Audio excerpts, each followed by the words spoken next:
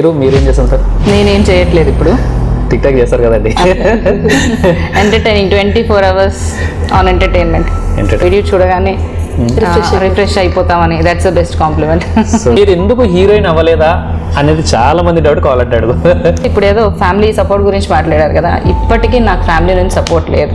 Maximum నేను ఇదివరకు first beginning డేస్లో కొంచెం టైం ఒక ట్వంటీ ఏజ్ అబ్బాయి ఉన్నాడు ఏదో వీడియో చేస్తాం. నీ బ్యాక్ బాగుందో ఏదో పెడతాడు. సారీ నేను నేను తిట్టనేమి. ఏంటి నాన్న అనే మాట్లాడతాను. నాకే ఒక కొడుకుంటే బ్యాడ్ కమెంట్స్ నేను ఎక్కువ పట్టించుకోను. ఎందుకంటే మగపిల్లలు ఫీమేల్ ఎక్కువ చేస్తున్నారు బ్యాడ్ కమెంట్స్. ఇంకా లిటరల్గా చెప్పాలంటే ఫీమేల్ ఎక్కువ ఇన్వాల్వ్ అవుతున్నారు. ఏం చేస్తావు నాన్న నాతో డ్యూయట్? నువ్వు గుమ్మడికాయ పక్కన పెట్టి చేస్తావా అని అడిగా. ఎగ్జాక్ట్లీ నా మైండ్లో ఉంది మీరు చెప్పారే. అది నేను అక్కడ ఆ ఏజ్కి వెళ్ళిపోయి ఆలోచిస్తాను నేను. వీడు ఏం చేస్తాడు నాతో డ్యూయట్? మంచితనం అనేది ఆయుధం అనేది నేను నమ్మే సిద్ధాంతం. మంచితనం అనేది పెద్ద ఆయుధం. అవతల మనిషి ఎంత కోపిష్టైనా కానివ్వండి ఎట్లాంటి వాడైనా కానివ్వండి మనలో ఉండే మంచితనమే మనం చూపిస్తున్నాం అనుకోండి వాడికే చీ అరే మనం ఇట్లా బిహేవ్ చేసిన వాడికే అనిపించి వాడే చేంజ్ అవ్వాలి. అంతే అది అంతకు మించి మనం ఎక్కువగా ఇంటర్మీడియట్ కూడా అక్కడే పొన్నూరులో.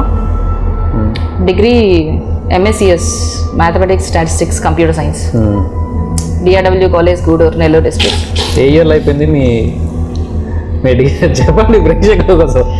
మెచ్యూరిటీ లెవెల్స్ అంటే సి లైఫ్లో చాలా నేర్చుకుంటాం.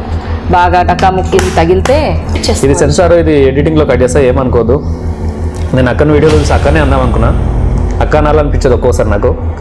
టు బి ఫ్రాంక్ ఎందుకంటే షీఈ్ బ్యూటిఫుల్ గర్ల్ ఈ టిక్ టాక్ స్టార్ట్ చేసిన బిగినింగ్ డేస్లో ఒక రాంగ్ పర్సన్తో డిస్కషన్ అయింది.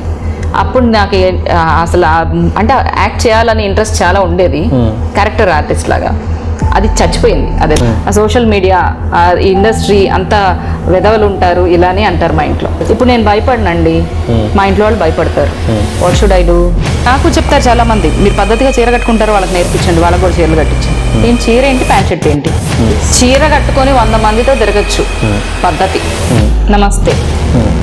ప్యాంట్ షర్ట్ వేసుకొని లైఫ్ లాంగ్ ఒక్కడితోటే ఉన్నా అది క్యారెక్టర్లెస్ ఇడియట్ అంతేనా?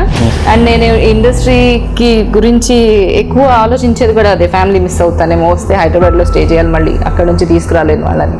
That is my main problem